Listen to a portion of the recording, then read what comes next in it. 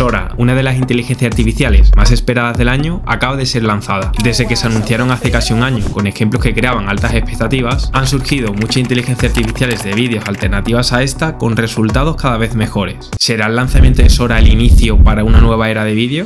Aquí estaremos viendo sus resultados, todas las funcionalidades que arroja esta inteligencia artificial y cómo podríamos acceder a esta. Además, también estaremos haciendo comparativas con otras alternativas, para ver cuál merece más la pena en la actualidad. Y por cierto, alguna de estas alternativas, a diferencia de Sora, la vas a poder utilizar de una forma totalmente gratuita e ilimitada. ¿Suena bien? Pues veamos cómo acceder a Sora.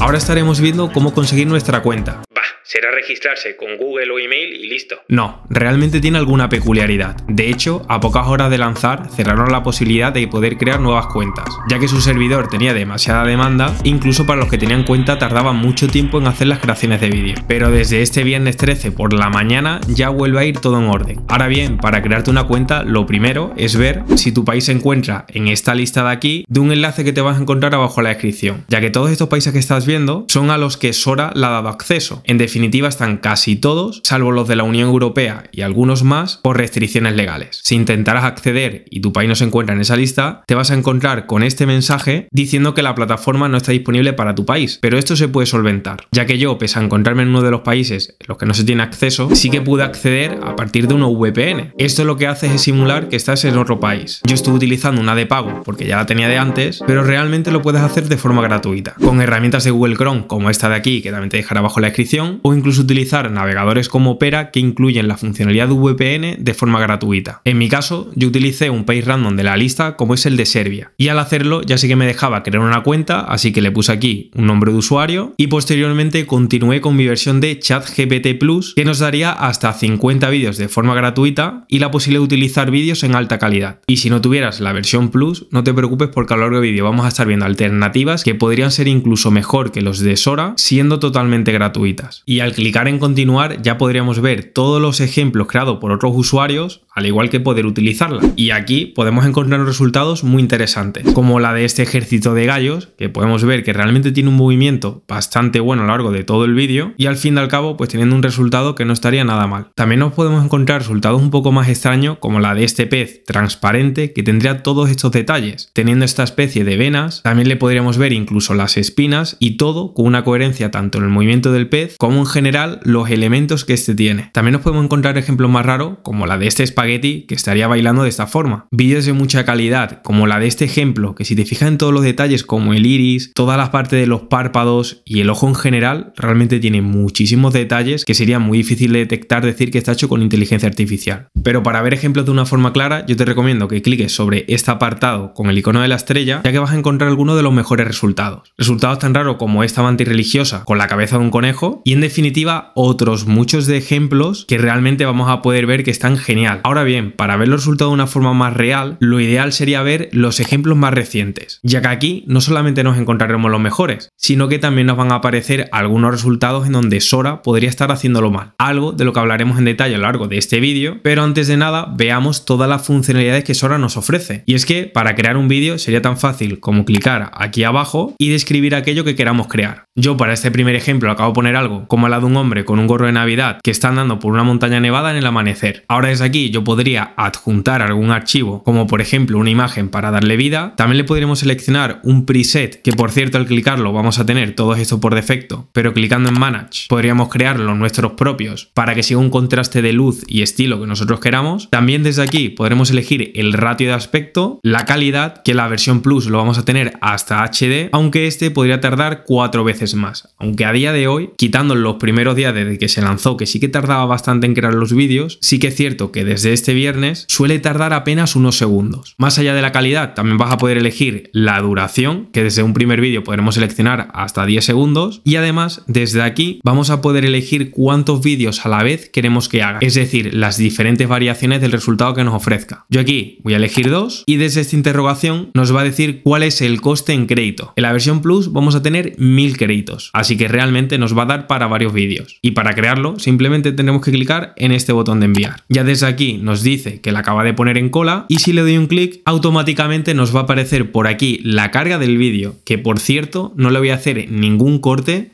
para que veas que realmente lo hace muy rápido. Aquí ya veo que está en el 84% y sin hacer ningún corte nuevamente, vamos a ver cuánto tarda. Ya solamente le quedarían un 9% más, un 7%, Parece que le está costando un poquito más estos últimos segundos y ya por aquí tendríamos el resultado y el tiempo pues será el que estáis viendo en pantalla. Y aquí como primer resultado tendríamos a este hombre andando por la nieve tal y como se lo hemos pedido con su gorro de navidad y clicando aquí a la derecha pues podremos ver este segundo resultado que realmente tampoco está nada mal, que incluso nos regala hasta un pequeño salto. Ahora desde el resultado, como puedes ver, nos aparecen otras herramientas desde donde podremos editar nuestro vídeo. Pero antes de ver esas funcionalidades te quiero mostrar una diferencia de los resultados creados con una resolución 480 respecto a la de alta calidad. Así que por aquí lo tienes.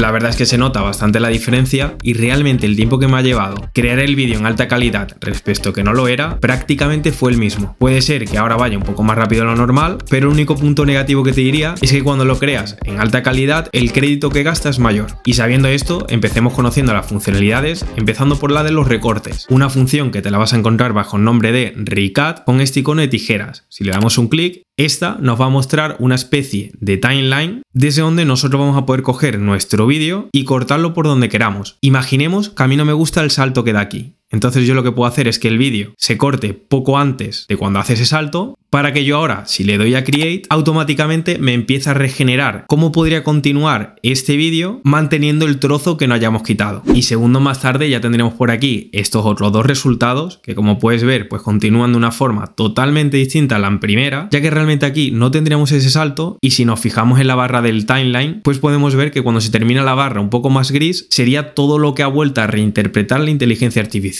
Y entrando en uno de los resultados veamos ahora la otra funcionalidad llamada Remix si yo le doy un clic, vamos a ver que yo ahora voy a poder eliminar añadir o reemplazar objetos sin cambiar el vídeo por completo. Aquí imaginemos que yo quiero cambiar el gorro de Navidad por una gorra de béisbol. Pues para ello sería tan fácil como describirle aquí lo que queremos cambiar, Aquí básicamente le he especificado eso. Y desde donde pone Stron Remix vamos a poder ayudar a la inteligencia artificial si se trata de un cambio muy fuerte, de algo mediano o de algún detalle pequeño. Yo aquí en este caso voy a seleccionar la segunda opción y si le doy a Remix automáticamente me empezaría por aquí a generar otra cola. Segundo más tarde pues ya tendríamos dos variaciones por aquí que ha hecho perfectamente lo que le he pedido. Tener este primer vídeo con esta gorra de béisbol verde en lugar del gorro de Navidad que teníamos antes de color rojo. Y en el segundo ejemplo pues nuevamente no lo ha hecho bastante bien teniendo esta gorra de de color verde, habiéndonos quitado la anterior que ya tenía. De aquí te tengo que comentar que es el segundo intento que lo hago, ya que si te fijas bien, aquí lo he cambiado a un remix fuerte, ya que realmente en el resultado anterior que me había dado con un cambio mediano, me había hecho una mezcla entre el gorro rojo y la gorra verde. Y más claro se ve en el segundo ejemplo, donde podemos ver por aquí la visera de la gorra verde, pero todo el resto del vídeo estaría con el gorro rojo. Así que aquí sería cuestión de probar la dureza del cambio que queremos utilizar. Ahora vamos a continuar con la funcionalidad de Blend y para ello lo vamos a hacer con este otro ejemplo que tengo en alta calidad. Desde donde si yo selecciono Blend, lo que vamos a hacer va a ser poder fusionar diferentes vídeos. Así que yo aquí podría subir un vídeo que ya tuviese yo o incluso seleccionar uno que hayamos creado por inteligencia artificial. Yo aquí lo voy a clicar a esa opción y desde aquí voy a elegir a este edificio llamas. Así que le voy a dar un clic y ahora voy a poder modificar cuándo quiero que se funda un vídeo en el otro. Yo lo voy a estar dejando así, voy a clicar tan solo en una variación y si le doy a Blend, segundos más tarde tendríamos ese resultado que ya hice previamente en donde tenemos este edificio en llamas, pero teniendo antes el primer vídeo que hemos fusionado con este. Y es que realmente aquí pues podemos hacer prácticamente cualquier cosa, pero nos queda la última funcionalidad y esta es la de loop. Y para ver esa de una forma más clara voy a entrar a este otro vídeo que estuve haciendo de unos gallos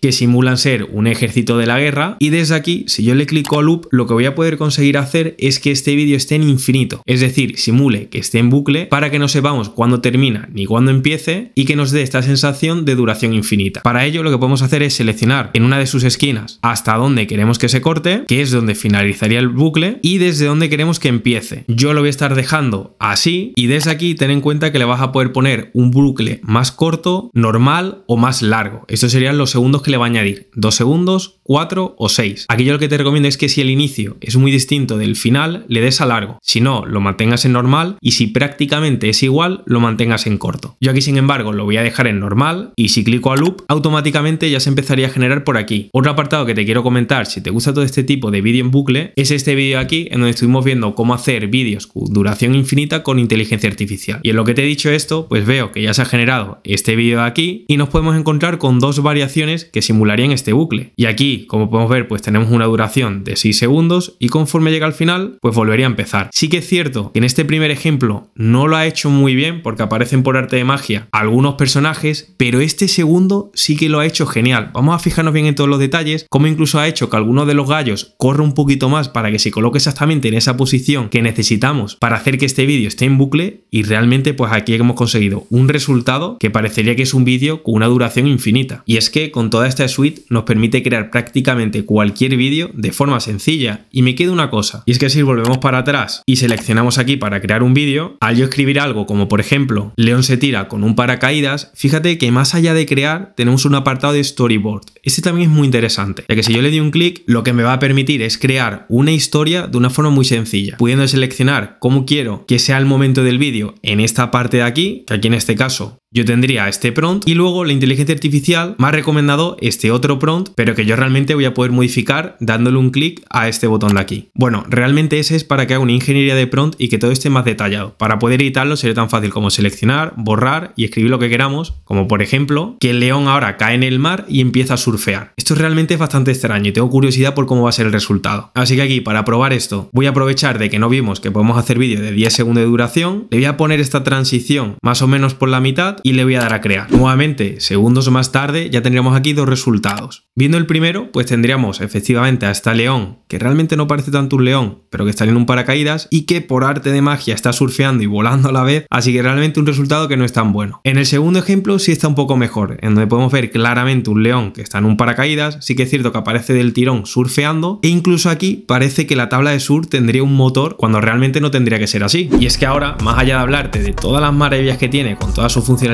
que son más que evidentes, tenemos que tener en cuenta que Sora estoy dudando si es realmente la mejor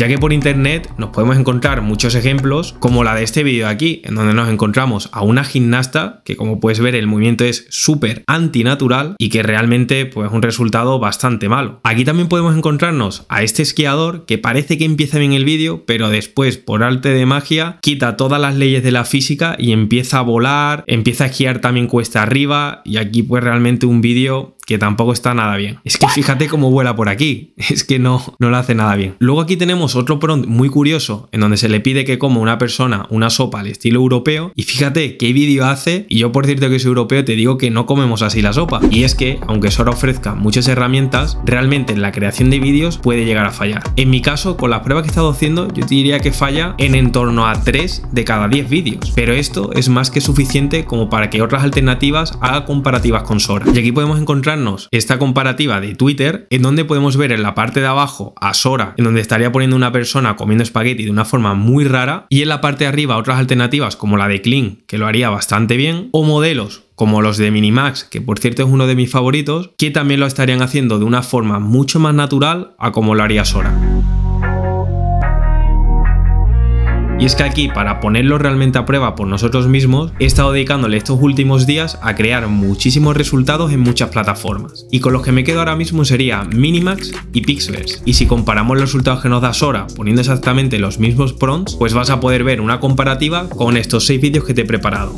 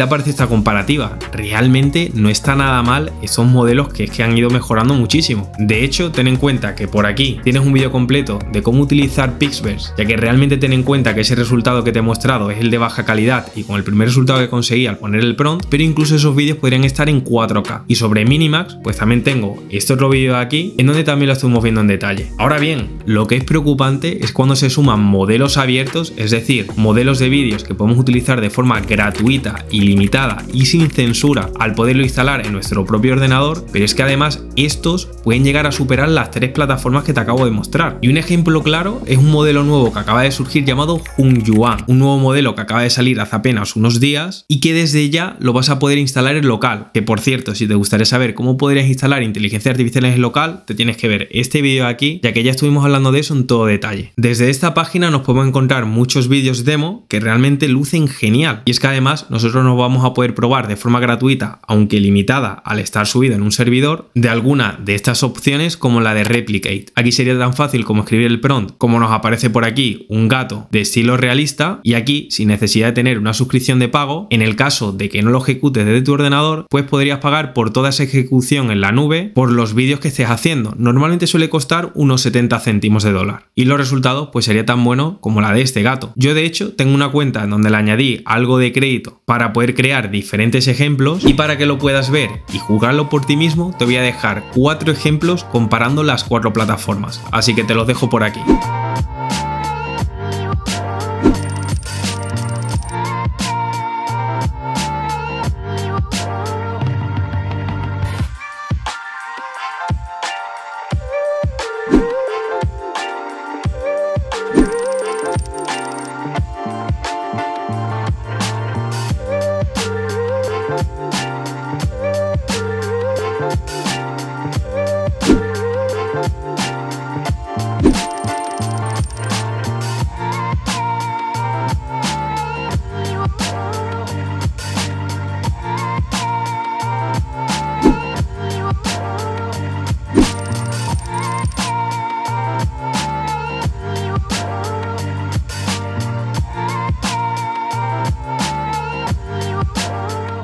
Bueno, ¿qué te ha parecido el lanzamiento de Sora y todas las alternativas que hemos visto? Déjamelo por los comentarios y comparte si te gustó. Como estamos viendo, los resultados van mejorando. Quizás Sora se anunciaba como algo más de lo que realmente era, aunque esto ha provocado que otros modelos de inteligencia artificial mejoren sus modelos a un ritmo más acelerado. Lo mejor es que sea cual sea la herramienta, tenemos muchas alternativas y posibilidades para empezar a construir nuestra propia historia.